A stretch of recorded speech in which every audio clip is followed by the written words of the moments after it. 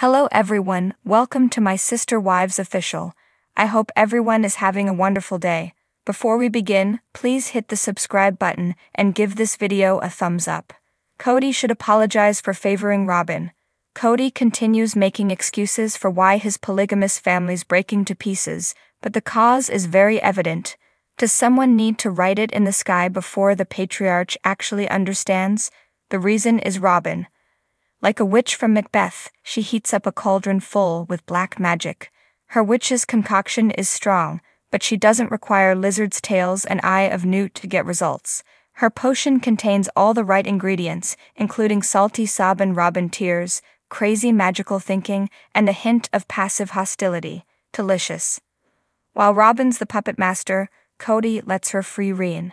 To reward him for that, she backs him up on everything this is where it gets toxic, by encouraging Kody to disregard the other spouses for years, and telling him that he was making the correct decisions, she's helped to undermine the multiple marriage that she claimed to respect. In reality, she removed Kody from his elder sons during Christmas, in a power maneuver that was questionable to say the least. This combo has wrought mayhem. Janelle's life's in ruins, and she acts like she doesn't know where her next meal's coming from. She may be in financial difficulties due of Coyote Pass. Of course, she blames that on Kody and Robyn. They live like royalty while she goes without. Meri's been going it alone for ages and feels banished from the family. Christine isn't too unhappy, but she's angry. Every non Robyn wife is furious. Meanwhile, Kody can't force himself to say, I'm sorry. He did manage to pull a pseudo apology out of himself in the previous episode. Kody stated, I'm embarrassed by my behavior, but I'm also realizing that you don't have a safe place, a safe way to talk to me. Then, he highlighted the rage that's polluting the atmosphere in season 18. He said, I am morphing or transmuting grief into anger. While this was better than nothing and showed a feeble glimmer of self awareness, informing a wife of 30 years that she's not safe with him was just sad. He needs to be much more contrite, he's still ducking responsibilities. Sister Wives Janelle Brown genuinely likes this man. It's hard to believe, but it's true. Imagine how much it must upset her when he claims that she's not safe with him. It's like he's muzzling her with his remarks and trying to halt the torrent of emotional words. Kody should mend fences with Paedon Brown. Paedon Brown, who's currently 25 years old, isn't shy about voicing his hate for his famous father and Kody's interfering wife, Robyn. In fact, he's got more than a touch of Kody's fame swagger. Paedon's been spotted on screen in season 18, ridiculing Kody and Robyn's immune systems and supporting Christine's side. He's not bashful about the fact that he supports Christine's decision to leave Kody high and dry. Paedon's using ridicule to mask how hurt he is. Kody's let him down over and again. He seems to feel that his father's a scammer, as he outed Kody as an anti vaxxer after all the patriarch's continuous rhetoric about being extra cautious during the COVID 19 outbreak. However, the bad blood obviously doesn't stop there. Kody should be Paedon's safety net, but he isn't. He's not Paedon's hero. A kind father's such a comforting thing.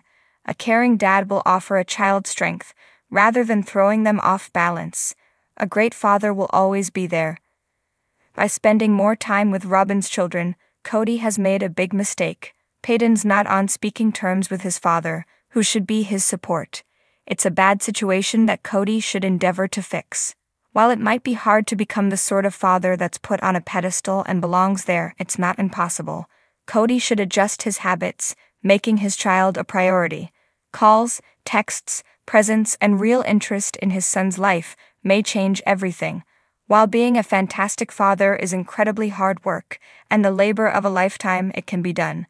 Other men have risen to the occasion. While Paedon might oppose Kody's efforts to connect, he could finally soften, repairing the rift that's so agonizing for father and son. Kody should acknowledge emotionally abusing Meri. Emotional abuse can exist in various forms. It can be performed by isolating a person, shaming them, and trying to bring them down. Kody's guilty of all of these things with Robyn's help. Meri's the most isolated woman in the Brown family, off screen, she's left Kody, but Meri still writes cryptic posts that reflect her sorrowful wistfulness over her fate.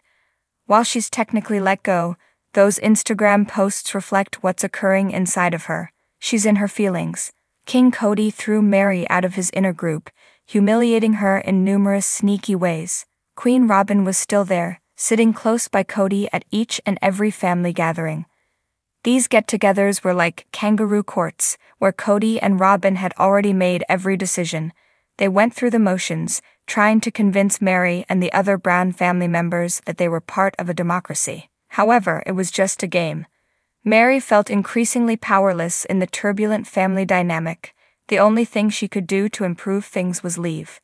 In the newest episode, Meri's still anxious about Kody. She doesn't want him to assume that her Utah move indicates that she's done with their multiple marriage. No one should be more done than Meri. She couldn't win Kody's forgiveness when she got catfished and decided to retreat. Meri wanted to move her LuLaRoe business. Christine's not with that company anymore endeavor to Utah. Meri, who comes out as a bit weak at times, is frightened that Kody won't back her choice. That she would care is truly mind boggling when he has ever supported her emotionally, three decades ago. In terms of his attitude towards Meri, Kody might as well be on the moon. He's just not there, he's in space. That's something he should apologize for too. While Meri's also made blunders, her transgressions pale in comparison to his own. Kody should make amends for missing Ysabel Brown's scoliosis surgery. The relationship between a parent and daughter can be quite meaningful. Sometimes this type of opposite sex relationship works well, it's more typical for dads to have problems parenting sons, or moms to suffer while raising daughters. However, Kody doesn't share a supernatural relationship with Ysabel Brown. He hurt her when he declined to attend her scoliosis surgery during the epidemic. Of course, Christine was there at the hospital while a surgeon performed on her child. This kind of stuff's very hard to make up for. It throws a long black shadow. Since Kody has 18 kids, it's not that shocking that he's feuded with many of his offspring. While he and Ysabel don't openly dispute, there's definitely damaged emotions.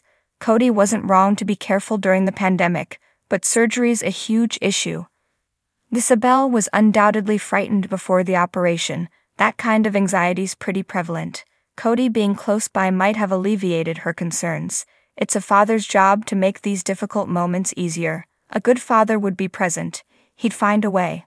Perhaps he'd double mask, wear gloves, and then grasp his daughter's hand when she was laying on the stretcher. A wonderful parent would look beyond the hazards, realizing that his presence was all important. It didn't go over well when Kody missed that operation. Lots of Sister Wives viewers are moms or dads. They know what's up. That's all for now. Hope you guys loved it. We will update another news soon. Please let us grow a bigger channel only for you guys. We only work hard for you guys. Hope to see a greater result in future. So what do you guys think about this update? Let me know in the comments below. And if you like my videos, please press like and subscribe for more. I'll see you guys next time.